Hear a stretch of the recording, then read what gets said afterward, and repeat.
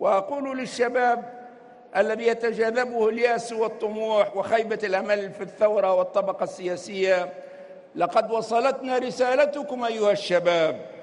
ونقول لكم أنتم المستقبل الذي نعمل من أجله والصعاب التي تعترضكم اليوم لا يجب أن تكون مبعث تشاؤم أو استقالة من الشأن العام بل مصدر تعلق بالوطن وإخلاص له وعزيمة في المغالبة والمبادرة. ونحن ندعو النخبة السياسية إلى أن تفكر في شبابنا وأن تفسح له المجال للمشاركة وندعو إلى عقد وطني للنهوض بالشباب حتى لا يبقى شاب أو شابة في دائرة التهميش دون عمل ولا بيت ولا زواج.